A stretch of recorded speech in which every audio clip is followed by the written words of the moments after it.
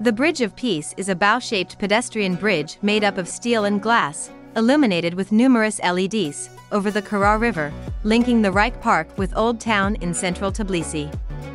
Since its opening in 2010 the structure has become an important pedestrian crossing in the city, as well as a significant tourist attraction and one of the most well-recognized landmarks of the capital.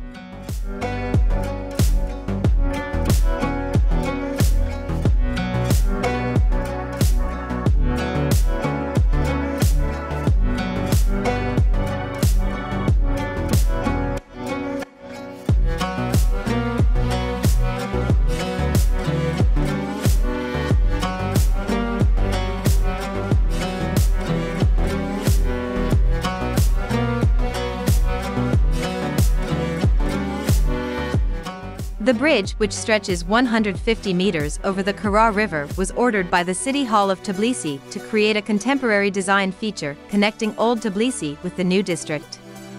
The official opening took place on May 6, 2010.